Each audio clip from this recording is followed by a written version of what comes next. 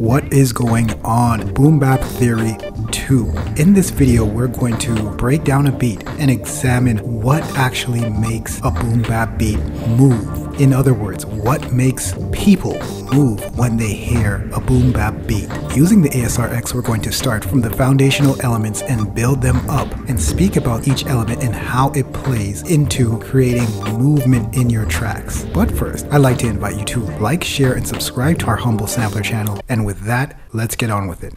All right.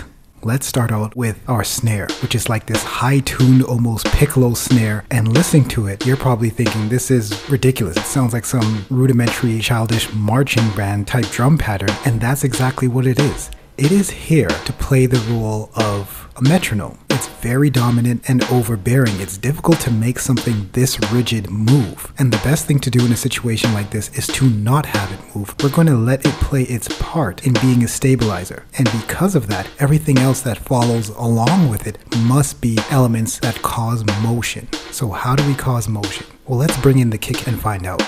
Now here is the kick, and it's dropping heavy on the 1 and the 3 of this beat, which is in 4-4 time. However, not only is it a kick that has other elements that follow in the tail end of the kick, it also has a delay on it, and that delay causes a subtle polyrhythm that bends things quite a bit. So immediately we're hearing that our original snare has some competition, and it forces the whole vibe of the beat to sway back and forth, thus creating movement. And that's the sort of movement that actually causes people to sway back and forth when they encounter a beat like this. You see, even though that original snare is so simple and rigid, it provides a real structure for a back and forth swing. It's an absolute ideal environment. Now, of course, next we're going to bring in the king of movement, which is the hi-hat. And in this instance, the hi-hat is playing an extreme accent role. So all it's doing is just bouncing on top of the snare and the kick, just highlighting parts of those and establishing a serious swing. And bear in mind, there is no swing on this sequence at all. Everything is created with movement, which, by the way, is a far better tool for creating swing than using swing on your quantizer or any sequencer that you're using.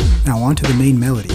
This melody is essentially mimicking the hi-hat, and this is a gel when you repeat the same rhythmic pattern using another instrument or another voice. It immediately causes a gel because two things are the same essentially, but they're different. It's like looking at siblings. You can see a brother and a sister and they look alike. You can tell they're from the same family, but yet they're two different entities.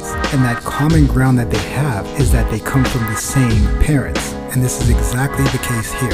And because of this, we're only using four elements in this song and it immediately sounds bigger than it is because everything is gelled together. And because of the movement, it creates a loop that you'll want to hear over and over and over again. This is what makes boom bap powerful. The art of creating a repetitious loop that you can listen to on its own or with a rapper or with a singer or whatever is what makes boom bap music very powerful. It's a very simple art form on paper, but the technicality lies in the vibe, or what we like to refer to as soul. A musician's sense of soul is the measurement of how good they are at making boom bap music. And we'll definitely get onto the topic of what is soul and how to develop your sense of soul in music in another video. But for now, we will say our ability to express is predicated on how well we can use the tools we have, and movement is a major tool. Just the word itself describes how our music will affect other people. And when you have a piece of music that makes other people move in terms of boom bap, that is the end all and be all. You can build so much on top of that premise, and it's actually very difficult to do any wrong when you have a strong, moving foundation. Anyway, thank you for watching. If you liked and learned something today, subscribe to us here on YouTube. We really appreciate it. I will catch you on the next one. In the meantime, take care of yourself. Peace.